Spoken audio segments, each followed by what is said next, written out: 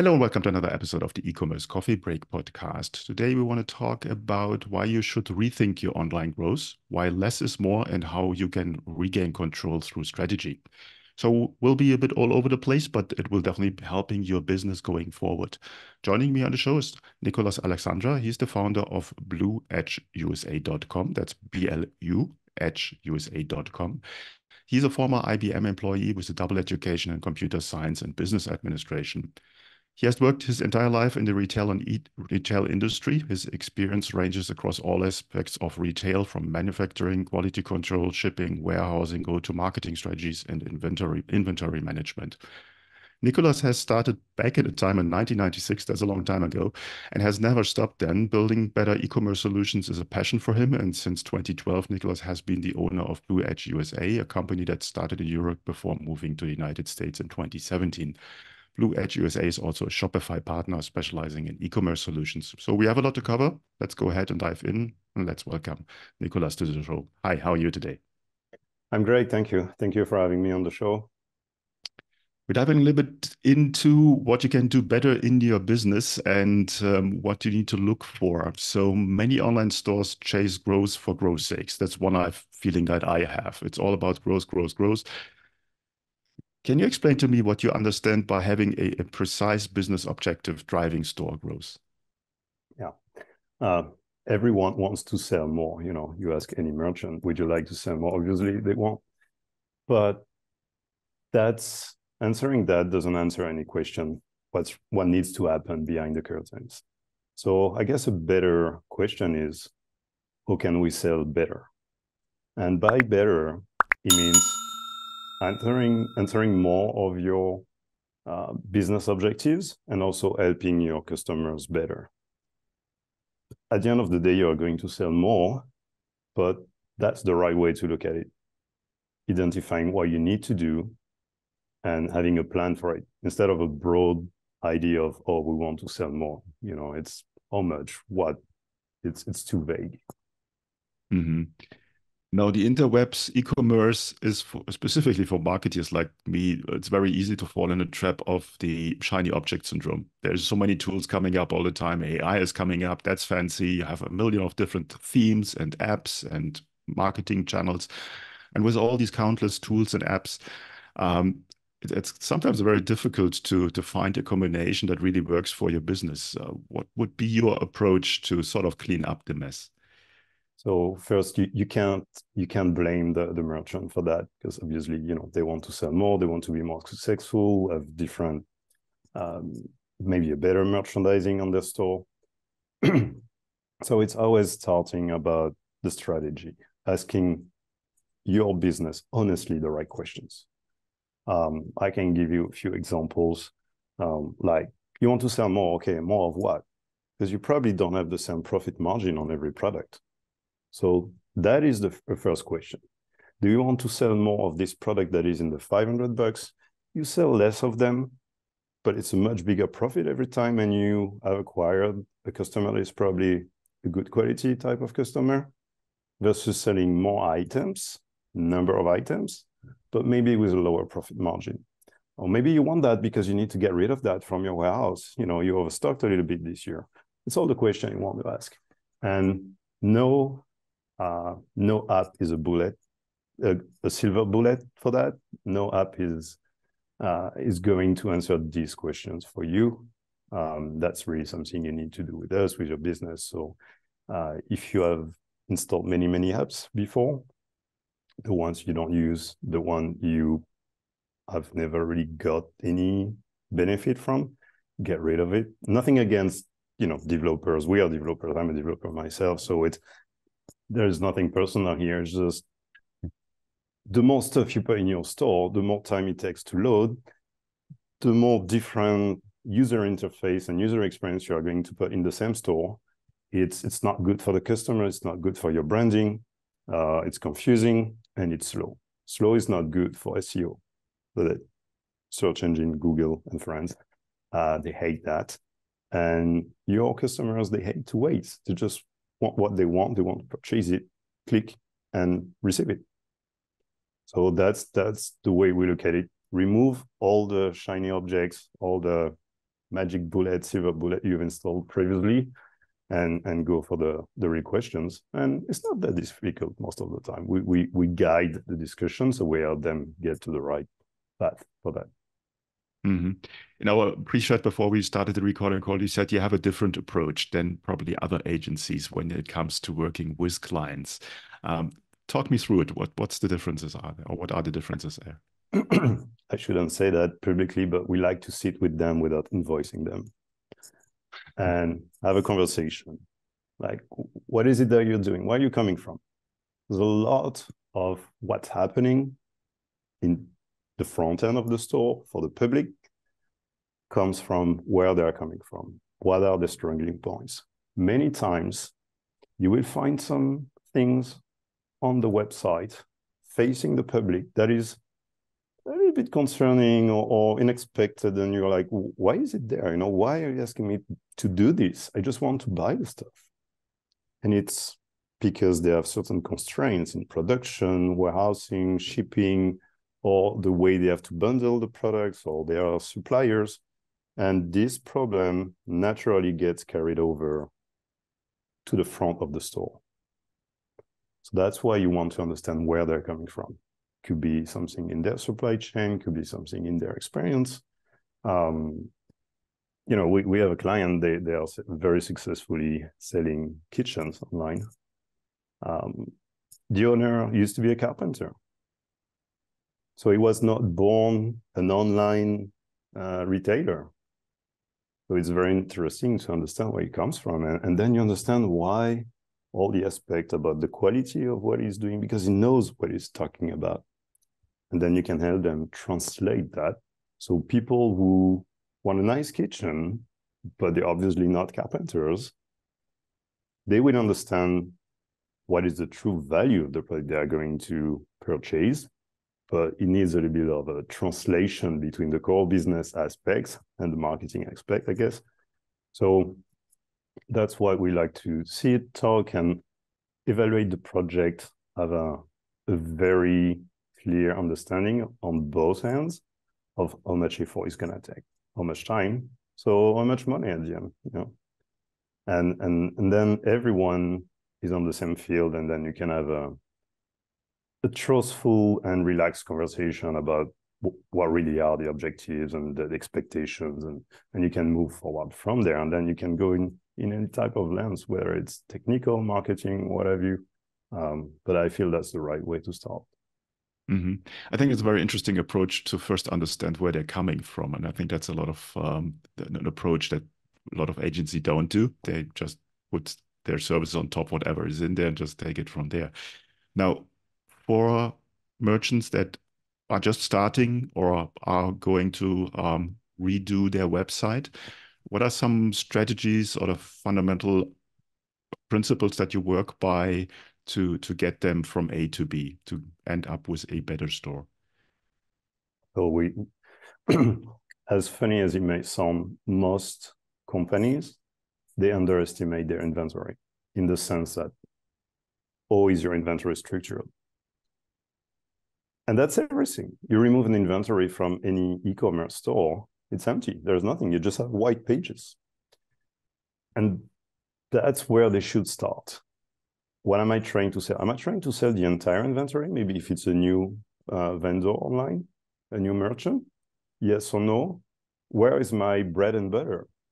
Maybe you don't want to fight on something where you make, you know, 5% profit margin where you could have 25 um, identifying where you are going to fight for. You can't. You have to pick your battles.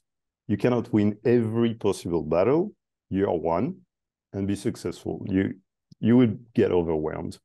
So you need to focus to be strategic about it, and maybe you know decide that this collection will go live only in three months when you gain more experience. Experience is very important. Uh, you can't just go online and be successful. It's an iteration process, whether it's the design, uh, the way your brand will reflect online, um, the customer experience, all of that, the different technology you want to use. Maybe some stuff don't work for you, or it's not practical for your team to work with. So don't hesitate to start not too small, but not too big either, and go step by step. It's an iteration process. Don't worry if it's not perfect day one, and and just take it from there. And I would say be careful with all the the metrics. You know, people are like, "Oh, I'd love to have ten percent conversion." I don't know. Maybe maybe you should start one person. You know, and if you get one point two, amazing. How do we get to one point five? You know, be gentle with yourself and your own business. Be gentle with your expectations. Structure your uh, your go to the world, you know, through the the e-commerce store. You want to do that step by step. Mm-hmm. That makes perfect sense. Obviously, everyone wants to have ten percent conversion conversion rate, but I think very few have that. I think the average conversion rate is one one to two percent or something like that. Yeah. And if you add another percent, you double your business basically. Now that would be amazing, go... right? If you could do that, just double the business overnight. Yeah, it doesn't happen often, huh? So the I want to go a little bit into tools and apps and the magic bullet that a lot of um, providers or software um, providers promise there. What's what's your take on there? Um, how many apps, how many tools do you really need to to run a business? So you, I guess, when we talk Shopify apps, um, we keep telling to our clients you have two type of apps. The apps that are backend only, maybe they do some, you know, Excel file reporting kind of thing. That's fine. You know, you go in your backend, you need to get some some numbers. Use that if it does what you want. Perfect. Um, then you have another type, which is the front end. So what is going to face your customers buying on your website? Um, you want to keep it to the lowest number possible. To me, five is the maximum. And I'm already like, eh, four maybe. um, just because the more stuff you put on the on the store, the heavier it is, the more time it takes. And remember that these apps, uh, they're not necessarily bad. Some of them are very good, and you need to work with them. You need to identify them and make sure you make the most out of it. But many other apps, they're a little bit like the, the magic bullet. And because of all the different metrics. Can you prove that this 5% growth is really from the app, or maybe it's your last Facebook campaign? Or maybe, you know, some some newspaper mentioned you. So it's it's really difficult to to be sure what is coming from. Obviously, you have tools and you have to way to track some of it.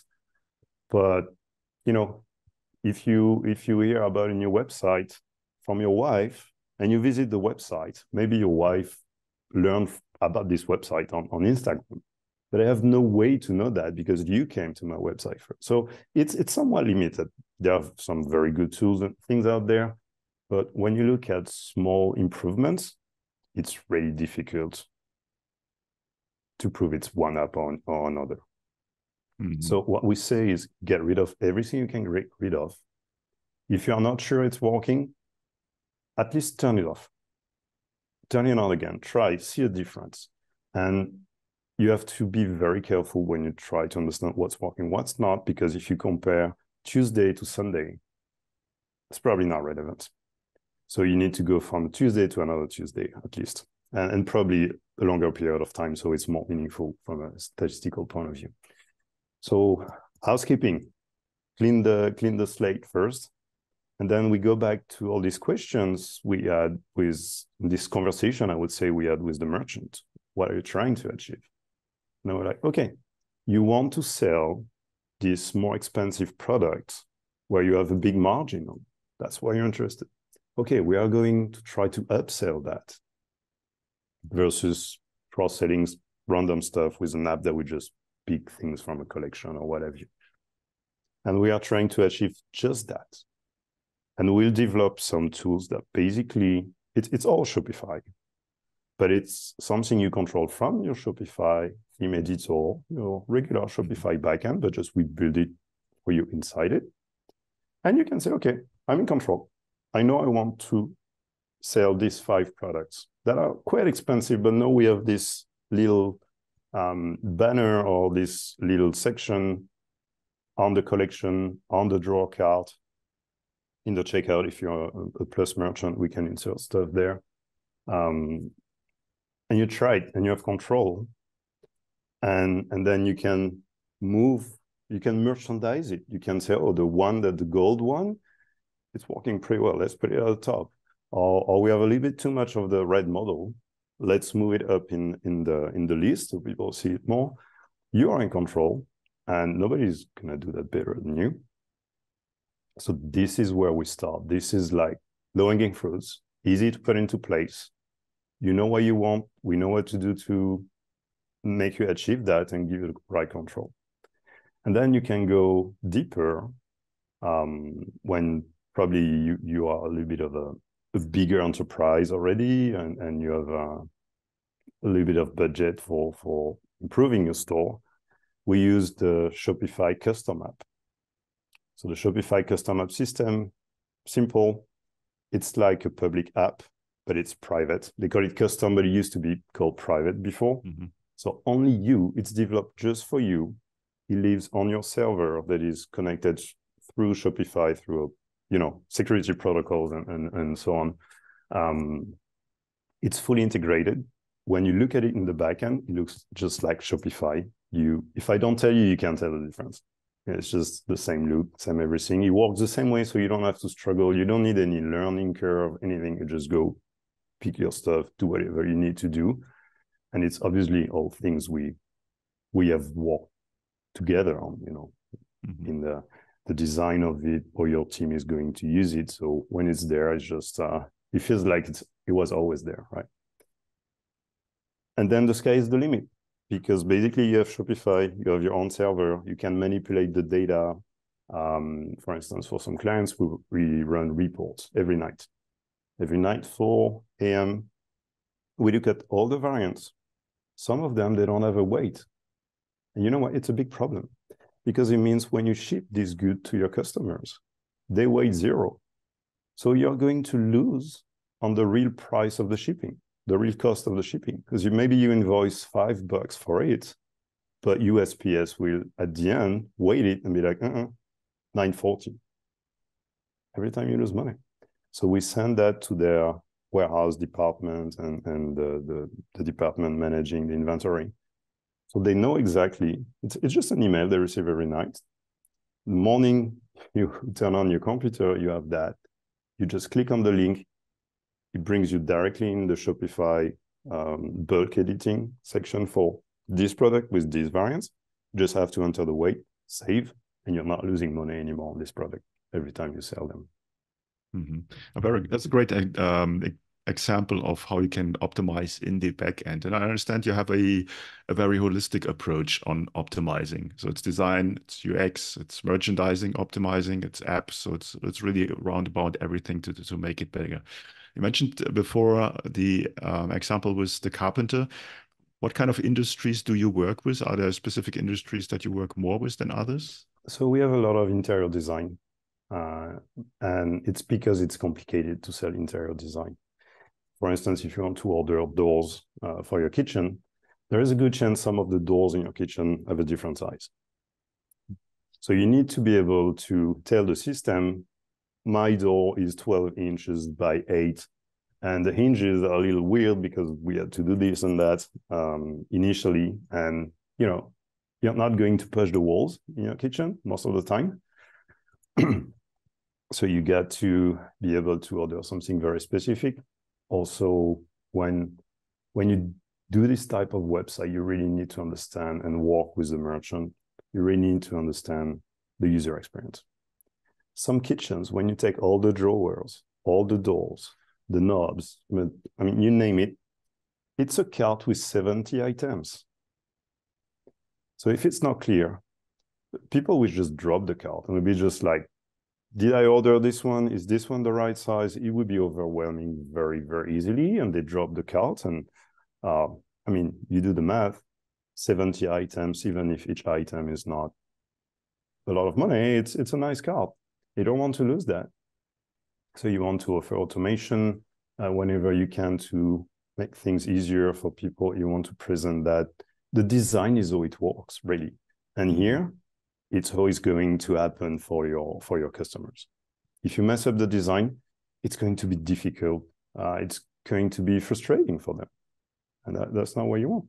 So we have a lot of people in this industry, fashion as well. Obviously, it's uh, you always have fashion, um, and I guess when I say fashion, is the same. It's it's not necessarily selling complex product because you know if you buy a t-shirt and a jean, it's not like technically complex, but it gets complex when you want to merchandise it right on your website and you want to drive the sales by the merchandising. It's like shop window in the street. You know, if you keep Christmas goods all year long, uh, people will, people will get tired of it. I would say so.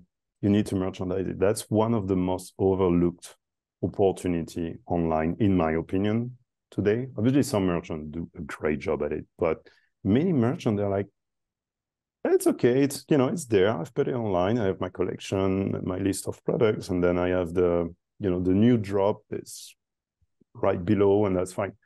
It's great, but it's not enough. Make it interesting. Make me come back, and I would say to some extent, make Google happy.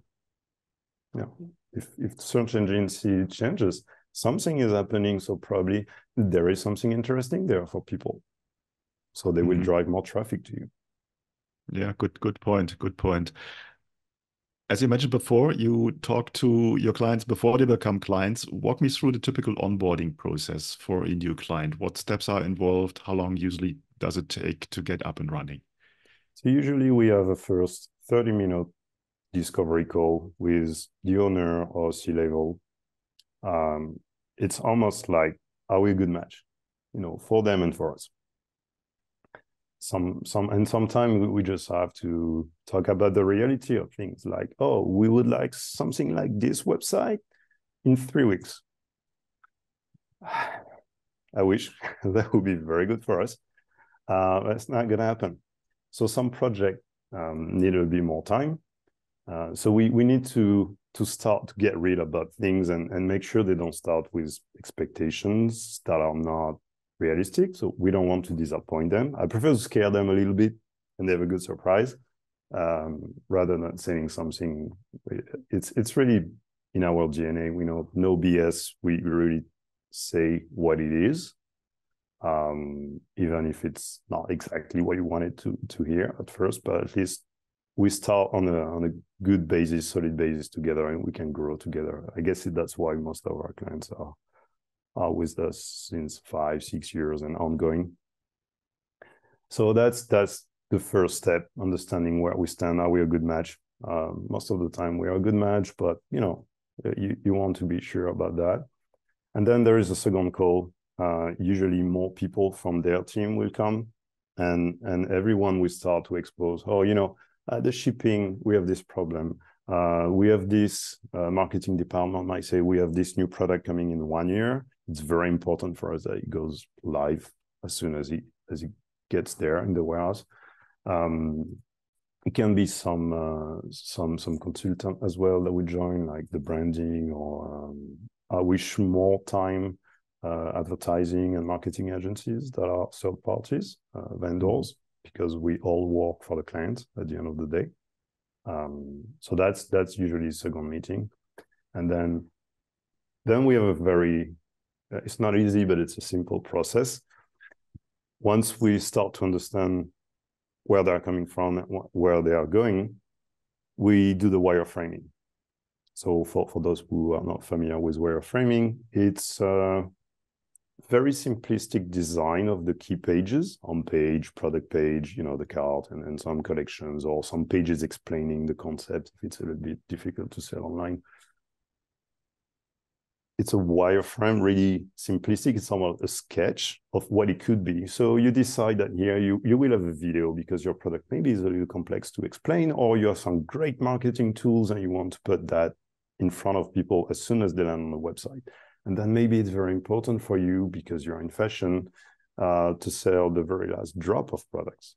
So you would want to have some sort of slider or collection, whatever it could be.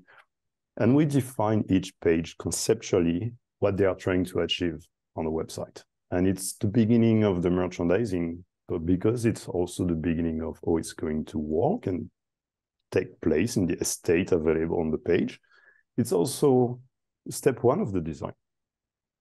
And once everyone agrees on the on the wireframe, for us, it's very important because we start to understand what needs to be developed, technically mm-hmm. speaking, to achieve that. Then we move to the design, high definition, mobile and desktop. Because a mobile and a desktop is not just like you you put things on top of things, so you, you will, you know, shove them in a smaller space. Um, sometimes it's fine. You can you can stack two things, um, but you you have to be careful about not having a very long pages and things like that, and understand that on mobile the experience might be a little different. So maybe you would present things a little bit differently. Same goal, same end game, but you need to adjust to the to the tools you have, and, and in that case, it's mobile, and in many for some of our clients, it's 98% of the sales. For some of them, it's only 60%, depending on what you sell. But you need to be mindful of that. Okay, let, let me stop there. I, I want to dive a little bit deeper into how long does the process take? So between a first contact, what's what's the average? the first two calls, it's you know one or two weeks, depending on their availability, but it, it could be in the same week uh, if they have enough uh, enough time to allow for that. The wireframing, we usually do a few key pages, present that to them, get the feedback, and then do a second iteration and do some more pages because now we know exactly what they like, what they don't like. So it's probably another month. For some website, it's three, four months because they have 100 pages because mm. it's very, very complicated. But, you know, many times one to two months is, is enough. The design phase could take a little bit longer because everyone has something to say um, the branding department, the marketing department, you know, the customer service department, very important to have their input.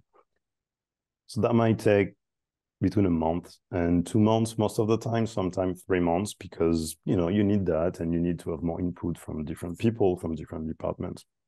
But many times it's it's their timeline. We follow their timeline. Maybe it's not the only big project they are dealing with at the moment, so we can meet only once a week or, or every 2 mm-hmm. weeks. You know. And then the development phase, usually the development, we have a pretty good idea because it's the last phase. So after the design, you execute, you develop the thing, back and front end. And the way we present that is for every page, every section has a number of hours of work hours assigned.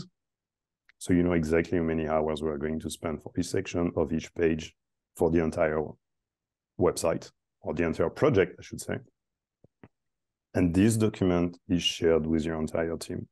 Okay. So you know okay. exactly if we've done 1%, 5%, 10%, and you know many days. So you know that the new website will be developed in one month, two months, three months, or more if it's a huge project. Mm-hmm. So it's so really other, transparent. Okay. So in other words, if you want to get your website ready for cyber Monday, Black Friday, you shouldn't come in September. That that you should literally start now today. yeah, September is you know in uh, that reminds me of the, the the brick and mortar retail. I've been working in that industry for a very long time with you know big big players, and obviously when they put, place an order, it's like you're talking millions of units that needs to reach somewhere warehouses at a certain date and we had this joke every year that surprisingly this year, Christmas is in December. because every year someone will knock your door end of September and be, you know what, we'd like to do promotion on this for, for Christmas. I'm like, nah, Christmas next year or like this one. Uh, so the earlier the better. You don't want to rush it.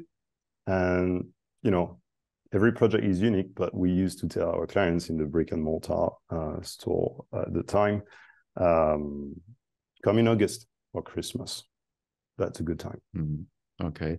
I think you gave our listeners a very good overview and a very good feeling um, if they have never been through the process of a complete relaunch of, a, of an online store, how much work is involved and how complicated it can be and how long it will take. Before we come to the end of our coffee break today, is there anything that you want to share with our listeners that we haven't covered yet? Uh, yeah, I think we've talked big numbers. Uh, so can be overwhelming and can be a little frightening. Sometimes you don't need to redo everything. Sometimes you just need to adjust some things because you've done a lot of great things before and some some stuff are not working the way you want, or you have something new, you know, like a new collection or something. Sometimes it's just a couple of weeks of walks. Um, and that's perfectly fine. I think it's about fine tuning every aspect of your online business. And you don't have to win the war tomorrow morning. You can win a little battle today, maybe invest only one week of work or two weeks and move forward and keep moving forward. And and that's that's the way you grow. And the magic about that is even if you put only 10% more effort on your online store or merchandising or whatever, because you're doing a great job and you're doing it right, time after time, people will tell other people. And at the end of the year, you have way more success than the input you've put. So keep improving it. Doesn't matter if you have a $20 billion company, you need to keep improving it. Or if you are just getting started, as long as you want to do it right, you will get the right outcome in the end. Mm-hmm. I think that's a perfect end to the episode to really summarize what we were talking about is, is focus on the key elements, keep your store clean and don't overboard with apps and shiny object syndrome and you will grow over time. Where can people find out more about you guys? I guess you can just go on our website, bluedgeusa.com, Um, reach out to us, send us a little email. Um, there's a, a, very simple form that will open as a drawer card, just like in e-commerce um, store. And and you know, let's start the conversation and, and let's see what we can do together. Okay. Nicolas, I will put the links in the show notes. Then you're just one click away. And whoever is listening and wants to learn more on how they can optimize their business, their store, their online store, they just should simply reach out to you. Thanks so much for your time today. Thank you very much. Hey, Claus here. Thank you for tuning in to another episode. Before we wrap things up, I've got a couple of important points to share. Firstly, if you have enjoyed today's episode and want to support the show, here's a simple way to do it. Help me out with that algorithm magic by liking, commenting, and subscribing on your favorite podcast app. And if you're feeling extra generous, leaving a rating would be great. Your support helps me bringing more impactful guests on the show, and it makes it easier for others to discover the podcast. Secondly, I want to talk about to all your business owners out there. Here's a question Are you tired of juggling everything in your business while struggling with your marketing tasks? fed up with hit and miss experiences of hiring freelancers or agencies that don't quite get your vision. But perhaps you're not ready to commit to a full time in house marketer just yet. Well, I've got a solution for you. Introducing our fractional marketing team. My team and I provide top notch experienced marketing professionals to become an extension of your business.